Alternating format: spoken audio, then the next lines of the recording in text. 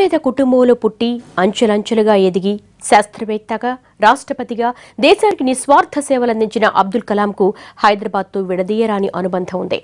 ఉన్నత విద్య పూర్తి చేశాక శాస్త్రవేత్తగా కెరీర్ ప్రారంభించింది ఇక్కడే.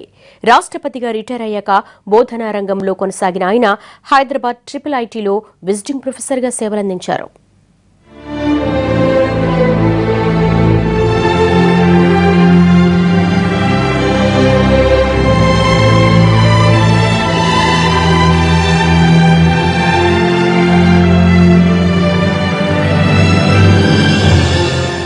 అబ్దుల్ కలాం పుట్టింది తమిళనాడులోనే అయినా కెరీర్కు బాటలు వేసింది మాత్రం హైదరాబాద్ నగరమే.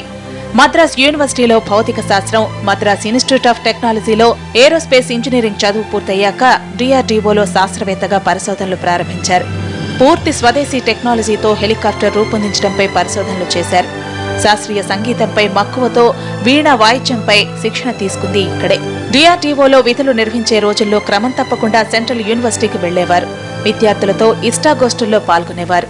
కోట హరినారాయణ సెంట్రల్ యూనివర్సిటీ బీసీగా ఉన్న సమయంలో ఎన్నో ప్రాజెక్టుల్లో పాలు పంచుకున్నారు కలాం విద్యార్థి సంఘాలతోనూ ఆయనకు పరిచయం ఉంది.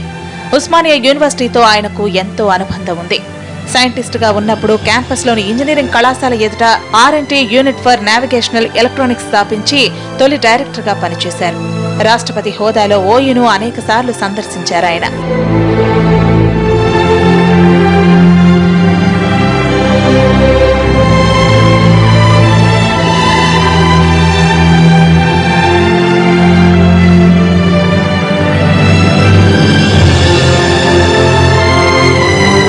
హైదరాబాద్లో వందకు పైగా స్కూళ్ళు కాలేజీల్లో పలు కార్యక్రమాల్లో పాల్గొన్నారు కలాం పిల్లలు యువకులతో ఎప్పుడు మాట్లాడినా శాస్త్ర పరిశోధనలపైనే ఎక్కువగా చర్చించేవారు.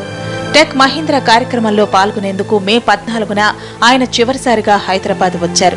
హైదరాబాద్ ఎంతో అందమైన నగరం. ఈ నగరం అంటే నాకెంతో ఇష్టమని ఎన్నో సందర్భాల్లో భాగ్యనగరంపై తనకున్న అభిమానాన్ని చాటుకున్నారు కలాం శాస్త్రవేత్తగానే కాక బహుముఖ ప్రజ్ఞాశాలిగా మార్గదర్శిగా హైదరాబాదీల మనస్సు దోచుకున్నారు.